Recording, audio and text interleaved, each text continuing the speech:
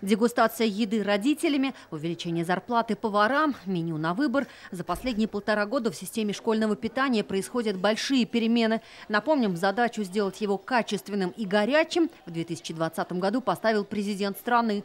В Татарстане запустили республиканскую программу по ремонту пищеблоков.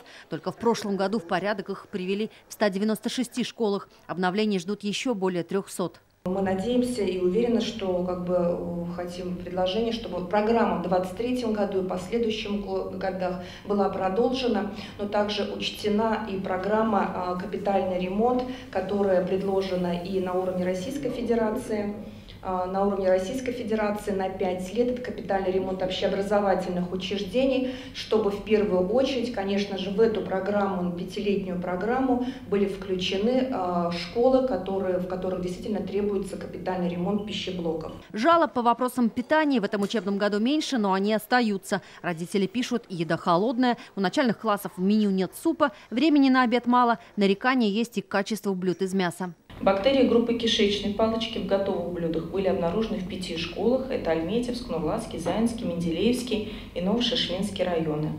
Напомню, коллеги, что в первой половине прошлого учебного года таких школ с нестандартными результатами, это значит, что группа бактерий группы кишечной палочки были в блюдах, было 81 школе. Но и сейчас на столы к школьникам нередко попадают блюда из просроченных продуктов. Так, во время проверки в Буинской гимназии обнаружили сметану и молоко с истекшим сроком годности. В одной из мензелинских школ – котлеты, в Мамадышском – крупы. А в Пестричинском районе картофель оказался с превышением нитратов. Одна из наболевших проблем, которая напрямую влияет на качество школьного питания – недобросовестные поставщики. Нередко они привозят в школу фальсифицированное сливочное масло и другие продукты непонятного происхождения. Их регулярно выявляют, вносят в условный черный список, однако они снова оказываются в школах. Их э, комитет по закупкам ввели в реестр недобросовестных поставщиков. Их ограничили в проведении, в участии тендерах в бюджетные учреждения.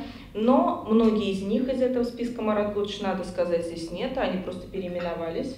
За три дня переименовались в иное юридическое лицо и успешно продолжали участвовать. У нас же принцип такой, кто дешевле предлагает, тот и выигрывает. Оно не всегда бывает дешевый продукт качественным. У нас система изменилась вот, э, в качестве проведения тендеров. Если система не изменилась, мы, мы в корне задачу, значит, пока не решили.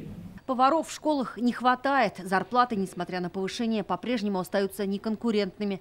Острее всего проблема в сельских школах. Здесь в штате обычно один повар. В случае болезни готовить еду детям уже некому. На этот случай депутаты предлагают возможность бесплатно повысить квалификацию сотрудникам кухни. В основном, конечно, у нас работают подсобные рабочие на сельских территориях. Это граждане предпенсионного возраста или пенсионеры. И в рамках национального проекта «Демография» возможно бесплатное обучение этой категории людей людей, поэтому здесь возможно обучить подсобных рабочих, повысить квалификацию на поваров, что в последующем возможно замена, безболезненная замена повара, а, как по квалификационным характеристикам, так и он получит ту заработную плату э, повара, которого будет заменять. Устойчивая тенденция к ожирению среди школьников – еще один насущный вопрос, который сегодня волнует депутатов. Второй вопрос. В докладе потешные будут озвучены цифры ожирение среди детей. Что будем делать? В отношении ожирения я затрудняюсь к ответу, потому что это привитие навыков здорового питания детям, а главным образом родителей этих семей, потому что мы все понимаем, что все мы родом из детства, и то, что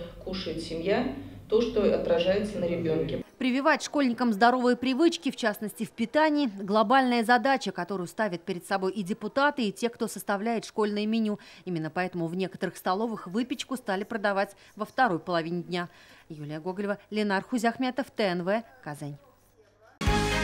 Закажи рекламу на ТНВ. Телефон в Казани 5 705 100.